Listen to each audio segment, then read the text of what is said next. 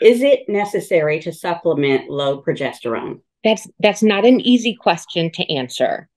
Um, and so the answer is that it depends.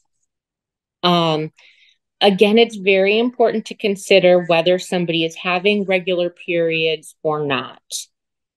I would say if they are, then no, you do not need to supplement progesterone because because these hormone levels fluctuate so much over time.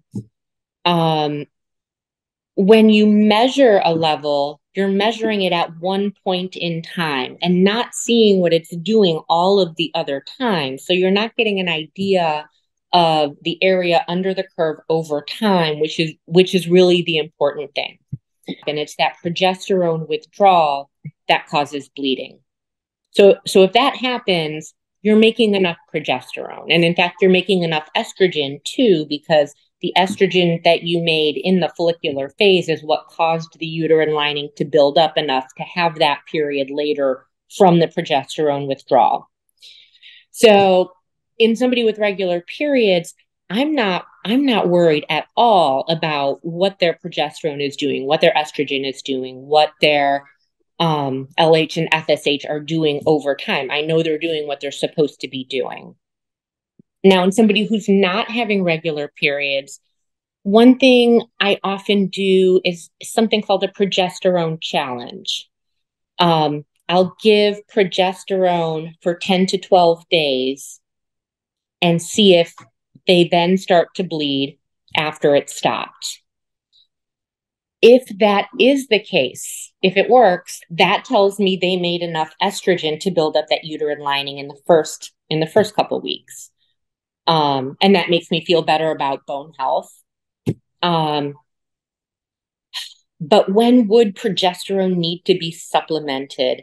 I would say, you know, if you have a level that's very low in somebody who's not having regular cycles, um, I think perhaps cyclic administration of progesterone could be something that's helpful giving it to them 10 to 12 days each month to induce a period. Um, I don't like I don't like progesterone that much.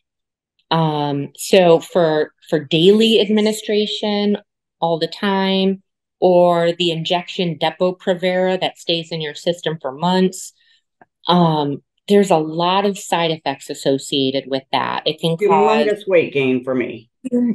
That's that's common. That's common. It can worsen depression in mm-hmm. some people. Um, and then like consistent administration of progesterone will also suppress estrogen production and then you have to worry about bone health. Mm-hmm. So I think there are situations where giving progesterone at least cyclically could be indicated. Um, but but there's a lot of things to consider before doing that. Okay. Do you have any follow-ups? No, I do. I don't. Yeah, let's throw one variable in there since we are talking about bodybuilders. So when, when you're in contest prep, especially in the lower phases and stuff like that, then you know most women or a lot of women will lose their period. Mm-hmm. And even when we're coming out of prep, you know, then you know it may be a while, some longer than others, before you know her period comes back. Mm-hmm. So in these instances, there's an irregular cycle going on, or, or it's really messed up.